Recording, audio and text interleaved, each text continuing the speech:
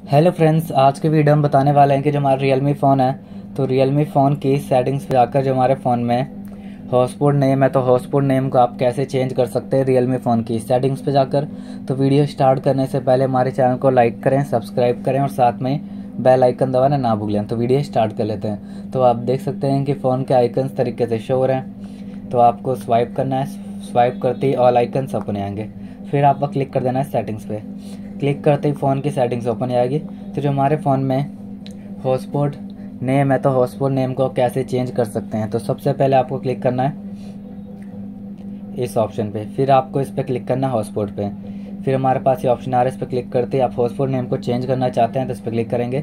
जो नेम है, इसको हम यहाँ से रिमूव करके न्यू नेम डालते हैं। जो हमारा नेम है, ये डालते हैं। तो हमने नेम डाल दिया, ओके, करती हमारे फ़ोन में हॉटस्पॉट नेम चेंज हो जाएगा।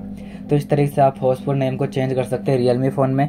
तो आपको वीडियो अच्छी लगी तो लाइक करें सब्सक्राइब करें और साथ में बेल आइकन दबाना ना भूलें और थैंक यू